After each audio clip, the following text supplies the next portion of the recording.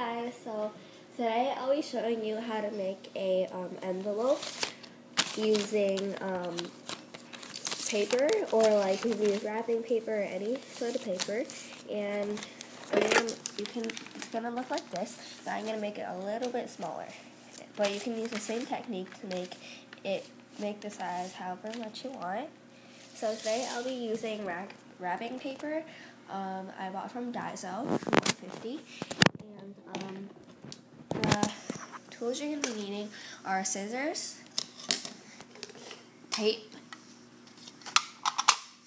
a stapler is optional if you don't have like any of the other tools.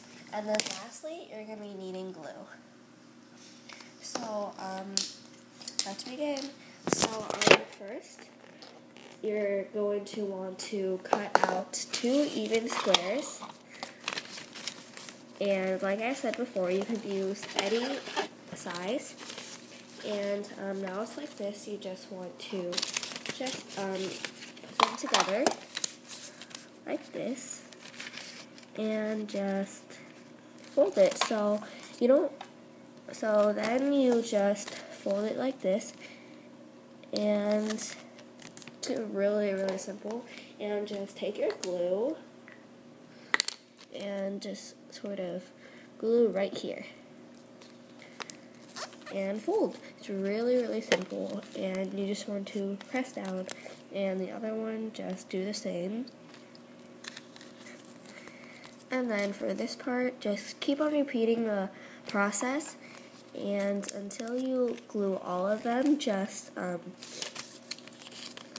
wait for it to dry. And this is really, really simple. And it only takes about five minutes every time. So there you go. So then now you have an opening that looks like this. And um, let me just glue down this one real quick. Alright, there you go. So um, now what you want to do is just take a piece like this, it doesn't really matter, and just kind of use a pencil, and I'm going to use like a pen, doesn't really matter though, and just mark how big it is, and um, then you want to just kind of cut it. It doesn't really, it depends on the size, and yeah. So then just cut it and as you can see, I'm cutting it right now. And, um, okay, so this is the size. And then just you want to cut right about here. At the end of here, just snip. And then do the same for the other one. Then you just want to tape your um, side right here using a stapler, glue, or tape. I'm going to be using tape for this one. And simply just tape it.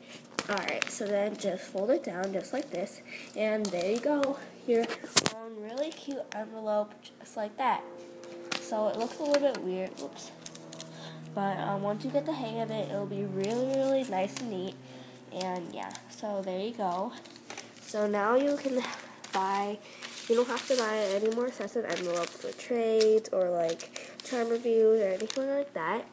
So yeah, this is really simple and I'll see you next time. Bye.